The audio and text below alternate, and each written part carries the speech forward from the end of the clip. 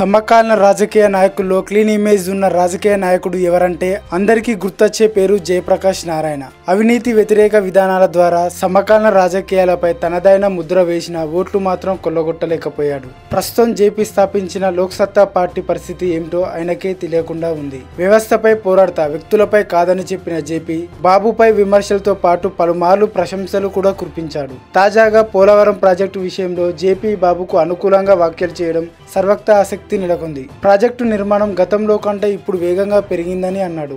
గత ఏడాది కాలంలో పోలవరం ప్రాజెక్టు నిర్మాణం వేగవంతమైన విషయాన్ని తాను గమనించానని చెప్పాడు. ఇదే స్పీడ్ కంటిన్యూ అయితే రెండు వేల పంతొమ్మిది కల్లా ప్రాజెక్టు పూర్తవుతుందని వ్యాఖ్యానించాడు. పనులు వేగవంతం కావాలన్నా రెండు వేల పంతొమ్మిది కల్లా పూర్తి కావాలన్నా కేంద్ర ప్రభుత్వం రాష్ట్ర ప్రభుత్వానికి సహకరించాల్సిన అవసరం ఉందని వ్యాఖ్యానించాడు.